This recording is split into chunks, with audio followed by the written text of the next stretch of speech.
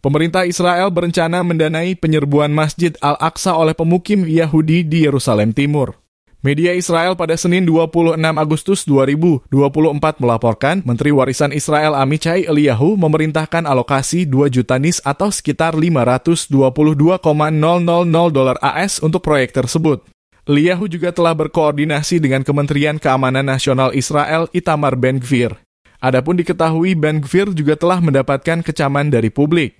Pasalnya, ia mengatakan akan membangun sinagoga atau tempat ibadah Yahudi di kompleks Masjid Al-Aqsa. Kepada Army Radio, Ben Gvir mengatakan hukum Israel tidak mendiskriminasi hak beragama bagi orang Yahudi dan Muslim di tempat suci tersebut.